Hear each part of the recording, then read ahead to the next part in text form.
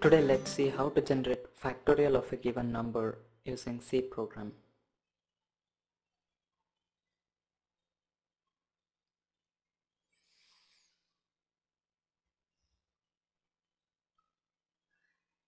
Let's take an integer number i for uh, looping.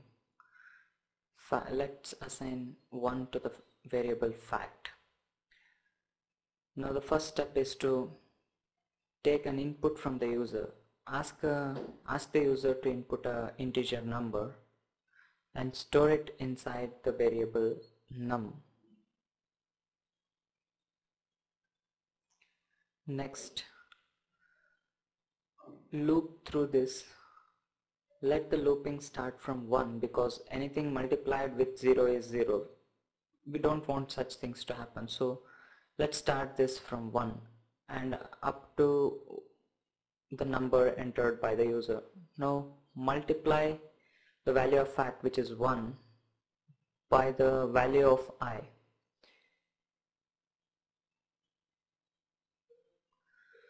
Now once the loop is executed completely the variable fact will have the factorial value of the number entered by the user.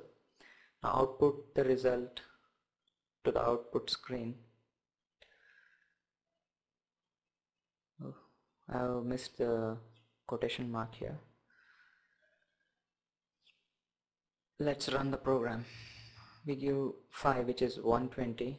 Let's give 4 which is 24 I guess. Yeah.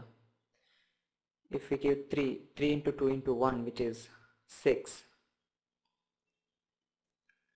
now let's give 2 which is 2 into 1 is 2 now let's give 1 1 into 1 is 1 factorial of 0 is also 1 so it's a simple program. Go through the text we have written on the blog and share it on Facebook like it on YouTube.